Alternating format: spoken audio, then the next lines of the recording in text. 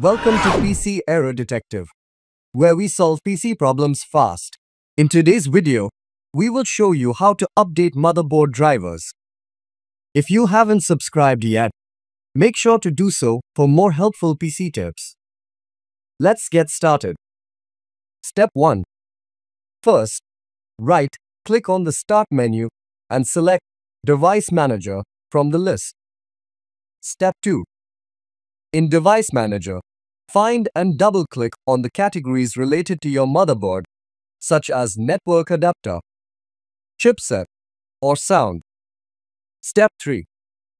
Right-click on the specific device you want to update, then select Update Driver.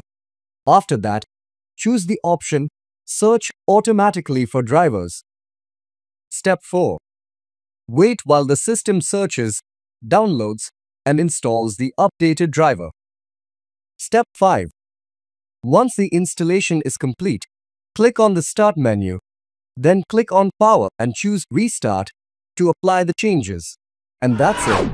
Thanks for watching and stay tuned for more videos.